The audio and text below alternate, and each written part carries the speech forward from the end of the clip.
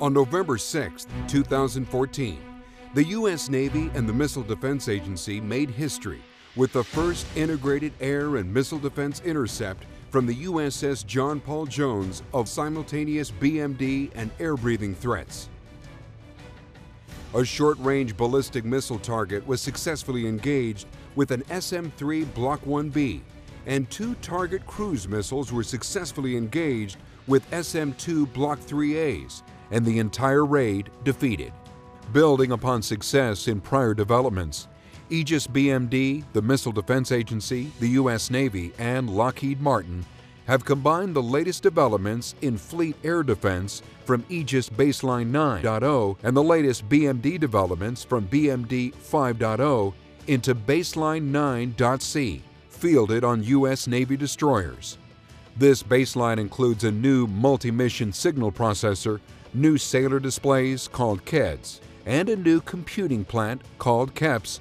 An important advance is Integrated Air and Missile Defense, IAMD, providing evolved capability to conduct multi-mission warfare, increasing flexibility and operational utility of the Aegis BMD fleet. These improvements continue to provide advanced capability to the combatant commander, pacing threat developments, providing modern, maintainable systems for the sailor, and keep the U.S. Navy investment in Aegis relevant well into the 21st century. Flight Test Standard Missile 25 builds on previous tests of Baseline 9.c.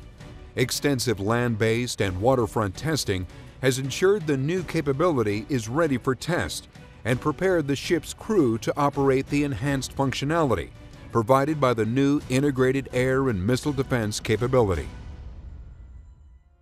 A U.S. Navy Aegis destroyer is positioned approximately 100 nautical miles off the coast of Kauai, conducting a simulated BMD station patrol.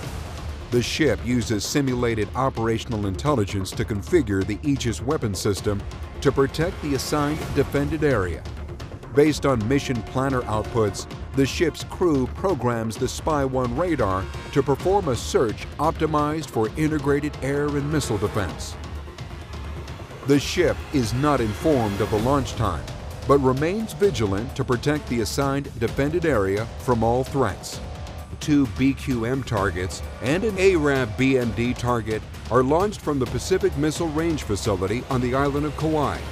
The BQM targets fly toward the ship, simulating cruise missiles on attack, while the ARAV target flies for a BMD attack on the defended area. The Spy-1 radar conducts integrated air and missile search, providing surveillance for the ship and the assigned defended area.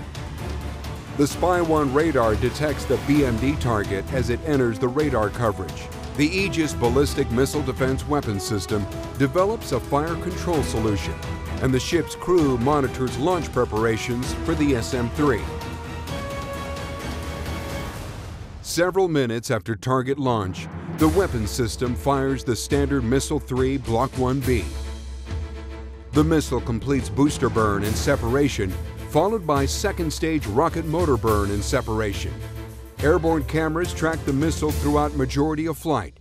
During the flight, the weapon system provides guidance commands to the missile. Meanwhile, during SM-3 mid-course guidance, the Spy-1 radar has detected the simultaneous cruise missile attack.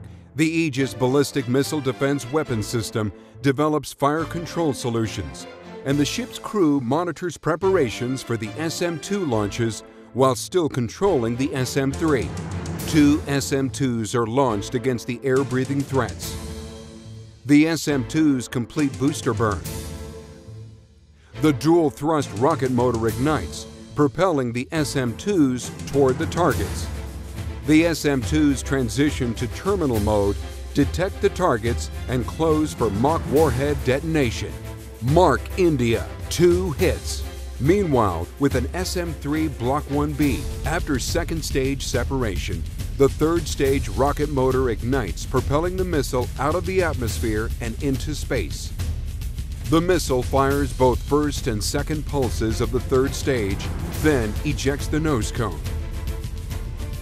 The Aegis Ballistic Missile Defense Weapon System provides a final update to the missile, based upon the most precise information from the Spy-1 radar and multi-mission signal processor. The kinetic warhead is ejected from the third stage.